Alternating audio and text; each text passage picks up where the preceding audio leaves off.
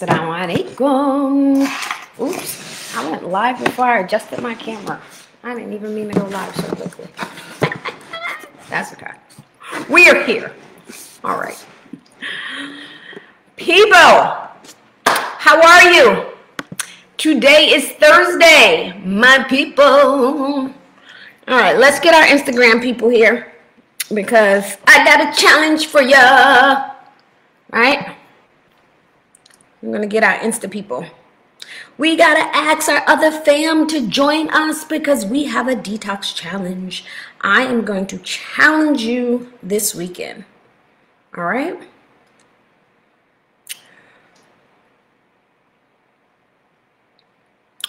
How are you guys doing, my Facebook people? All right, I think I have. There we go. We gotta get our Instagram cousins up here. We gotta get our Insta people. What's up, Insta people?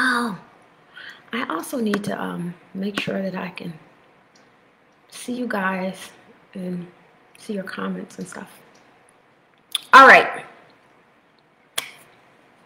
Our Insta Cousins is with us now. Welcome, Insta Cousins. Assalamu alaikum, everybody. So, today I am going to give you a weekend challenge. This is for everybody who's having a hard time detoxing off of sugar. This is for if you have someone in your house that has been uh, resistant um, for giving up the sugar. So I am going to talk to you a little bit about why we need to do it and what the challenge is this weekend. So give me salams, give me a hello, tell me where you are joining me from so that we can get started. I want to make sure I can see my comments. Ooh, can I see my comments? Yes, I can comment. I can see my comments. I think so. I got to move my Insta people over. So, we have a weekend challenge. I got to give it to you right now on Thursday because the next time I talk to you will be Monday. So, I want to make sure that you um uh nope nope. I want to make sure. Walaikum salam sana. Hello saifi from ethiopia and nifa. Walaikum salam chelsea salams okay. Who needs to cut the sugar out? Hello rowan on instagram chelsea in nyc hey you're right down the road from me i'm in connecticut New York is like 45 minutes. How you doing? One day when all of the Rona decides to leave, we can get together and we can resume our regular in-person annual events. I cannot wait. I'm getting about tired of Rona right now. Walaikum salam, Jack from Boston, and Nisa from Seattle, Washington, Seti from Atlanta. I am good today. You know I'm in a good mood when I wear my colors, when I have all my colors on. I love colors. They make me feel good. They make me give me energy. So when I wake up and I want to feel hype and pump, I'm like, how many different colors can I put on? and my Las Vegas uh, hoodie is the most colorful thing that I have, and it's all my favorite colors too. So I love it. Um, I am getting ready to talk about sugar and all the things that sugar does to our bodies that we want it not to do. But in order for it not to do that, we have to cut it out. So first of all, let's talk a little bit about what I mean about sugar. So I'm going to give a disclaimer. Oh, before I get started, if you are joining me for the first time, my name is Mubaraka Ibrahim and I am a health and happiness coach. And if you believe that physical, mental, and spiritual well being is intertwined and the weakness of one weakens them all and the strengthening of one strengthens them all, then welcome, you have found your tribe. We talk about food, faith, and fitness here on Fit Muslimah Profile, and I am talking about sugar today, and I am going to give you a sugar detox challenge. So, who is this challenge for? This challenge is for people who know that they are addicted to sugar. You know who you are, you know who you are, and you know who your friends are. So go ahead and tag them so that they can get in on this channel challenge, right? This is for people who say things like, I just can't give up bread. I must have my pasta. I have to eat my rice all of those turn to sugar in your bloodstream, and that means you too are addicted to sugar. So, what are some of the signs of your body that you're addicted to sugar? You crave sugar. Like, even when you try to not crave it, you crave it. When you tried the last time to detox off of sugar, you stop eating candy and you start eating bananas and oranges and watermelon, as much sweet fruits as you could get your hands on. Because you thought, well, if it's natural sugar, then it's okay. Not really, my dear. We'll get to that. The other thing that you know when you are addicted to sugar, you actually have an addiction much like people are addicted to coffee. When you don't have it, you might get a headache. You may start feeling extremely fatigued. Some people actually start feeling symptoms like they have the flu simply because they didn't get their sugar fix. Sugar is not just an addiction of our bodies, but it's also an addiction of your brain. Not a mental addiction. Like, I'm not saying like you're mentally deranged if you're addicted to sugar. We're not talking about mental health. We're talking about literally your brain. your brain gets a huge dopamine influx when you eat sugar. And that's why it tastes so good. So I do not deny that sugar is delicious. Things with sugar in it makes it taste better. And it tastes better to us because our brain is like, oh yeah, it's a sugar party. Oh yeah, it's a sugar party. That's what happens when that dopamine hits. We know those research studies that tells us that sugar is just as addictive as cocaine. Nobody would say, I just have, well, that's not true. There are people that say that. I just have to have a hit of cocaine. there are people. It should not be. Um, I did something really silly. Give me a break. Give me a minute, y'all, because I actually forgot to plug my computer in, and I don't want to lose my face with people. I don't want my computer to die. All right, we're good. Had to plug it in. All right, so those are some of the signs that you may be addicted to sugar.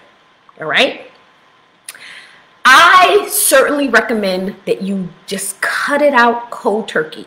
If you get a headache, do it on a weekend when you don't have nothing to do, because generally your symptoms will probably be the most pronounced on days one to three.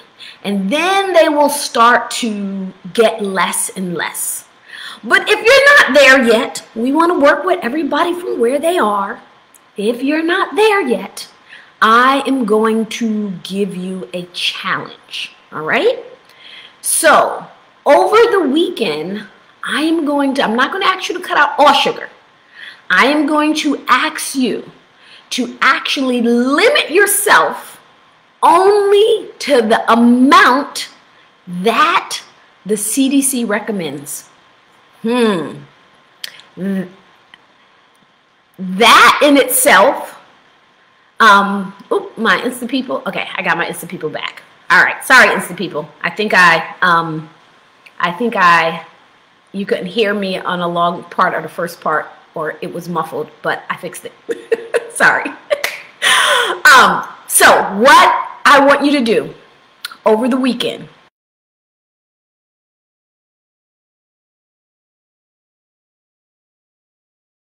right?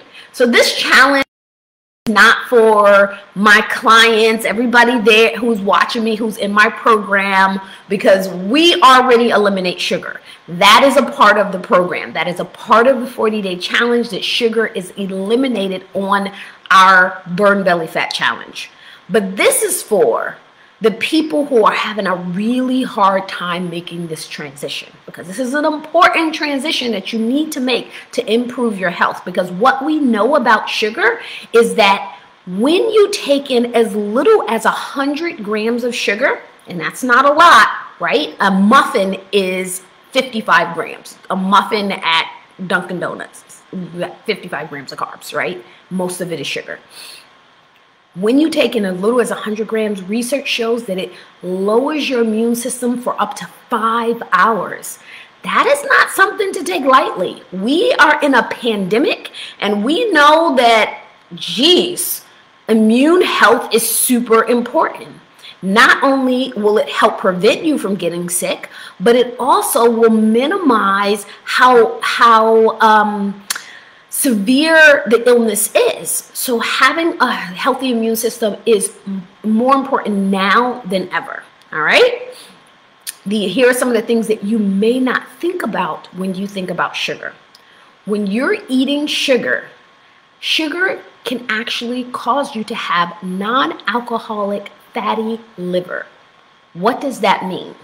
That means that you actually develop additional fat in your liver and when you develop too much fat in your liver, it causes inflammation and it even causes scarring of the liver, which eventually will lead to parts of your liver blood supply being cut off.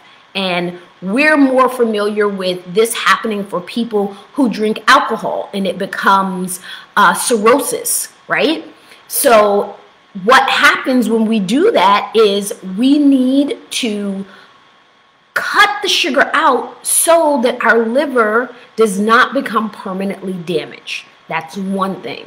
Another thing that sugar does, it, it, lowers the immune system. It actually causes fatty liver. It actually is the promotion of the reason or the start of the reason why people get um, high cholesterol, right?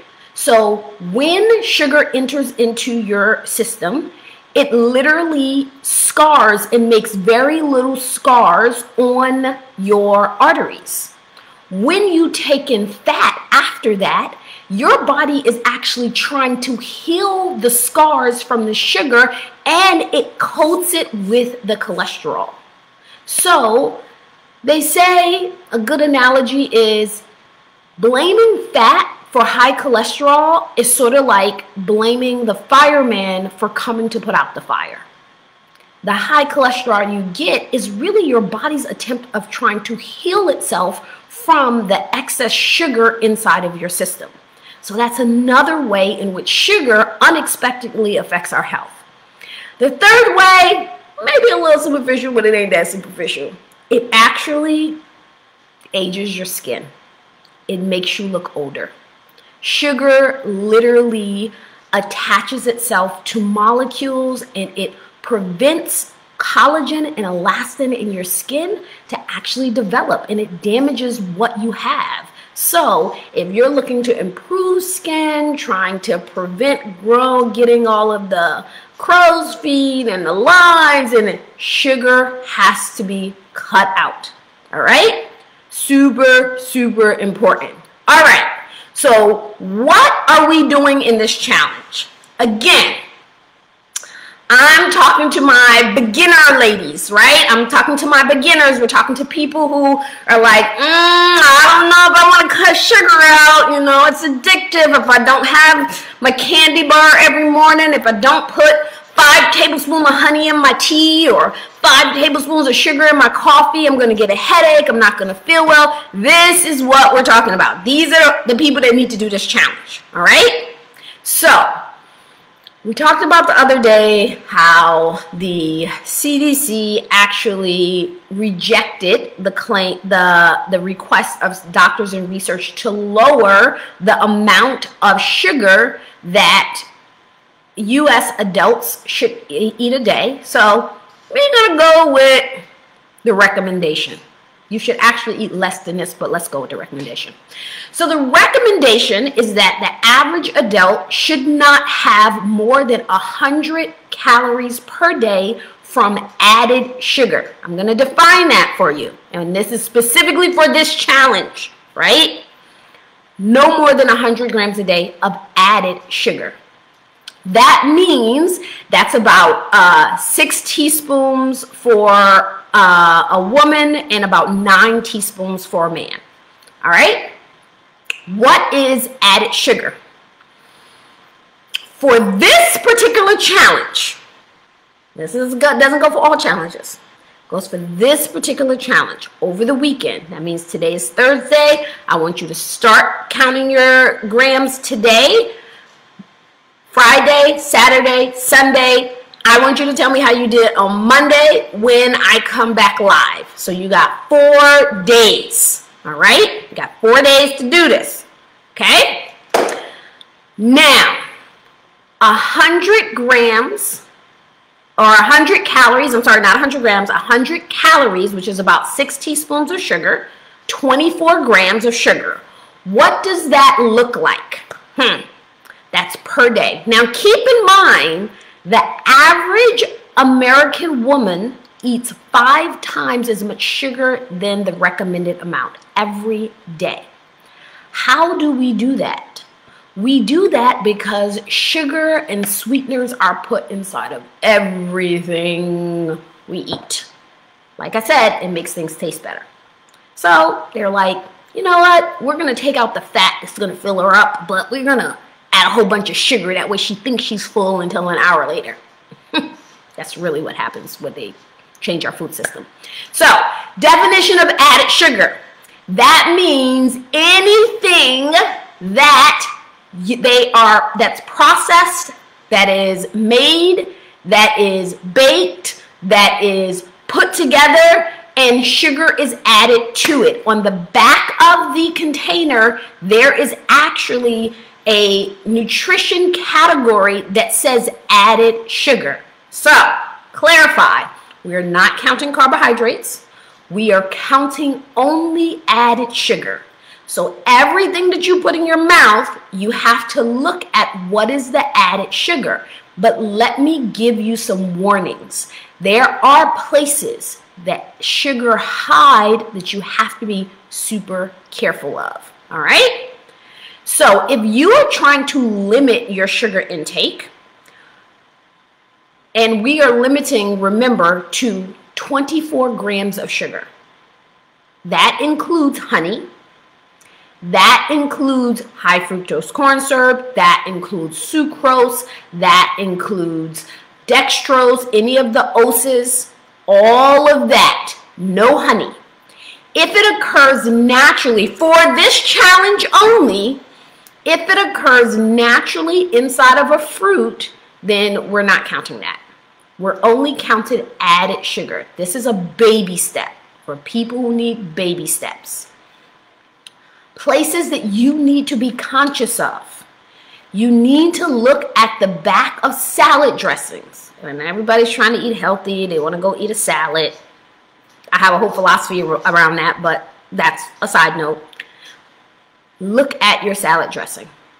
Salad dressings can have as much as 5 to 15 grams of added sugar. So you have to be really careful. French dressing, Thousand Island dressing, anything like that. All of those things have added sugar to it. Honey has 17 grams per tablespoon. So if you're literally putting two tablespoons in honey in your tea throughout the day, you are exceeding the amount of sugar, added sweetener, sugar that you should have in a day because you're adding it to it your um, regular teaspoon of sugar has 4.2 grams. Right? Look at bread. Slices of bread have added sugar in it. Pasta sauce. Pasta sauce has as much as 13 to 15 grams per serving. That's not per jar. A serving of pasta sauce is normally about a quarter of a cup. 13 grams of sugar. That is the equivalent of three teaspoons of sugar every time you top your pasta. Okay? So, and stay away from things, I'm just gonna tell you, stay away from things like yogurt, right? And not, not Greek yogurt, but plain yogurt, particularly the flavored. Some of them has as much as 40 grams of sugar. Look at the back of them. Don't believe me? Go to the store. I wish I had one to show you. Maybe I'll grab some over the weekend. All of these things I don't actually have in my house. Well, we do have honey because my husband eats honey. But I don't have them in my house, but I can go and get them. And Monday, we're going to actually look at the nutrition labels. All right? Over the weekend, look at the nutrition labels. And don't be fooled by things like vitamin water. Did you know vitamin water has as much added sugar as a soda? 32 grams for 120 calories. That is a lot of sugar for a, a water that's supposed to be healthy. You want to make sure that you are being really conscious of added sugar to your diet. Look at uh, low fat yogurt. Anything that says low fat is going to have added sugar to it. And here's another challenge. So at, if you go to the store this weekend or if you go online and shop, however you're shopping in this pandemic, I want you to look at the difference in just the added sugar in any product that gives you a low fat version. So if you have French dressing and you have a regular version and then you have a low fat version, I guarantee you that when they took the fat out, they added sugar and salt. So anything that's low fat is going to be higher in sugar than the original version of that food. So make sure that you're super conscious of that. Uh, be conscious of doing things like eating muffins that we think, oh, when I go to Dunkin' Donuts, if I get um, whole grain muffin, then it's going to be much healthier. Mm, not really. Dunkin' Donuts have some delicious muffins. They really do. That's because they put a bunch of sugar in it. As much as 47 grams. That's literally drinking a soda. Like if you just took the sugar out of a soda and you took the sugar out of a muffin, it would be equivalent to one another.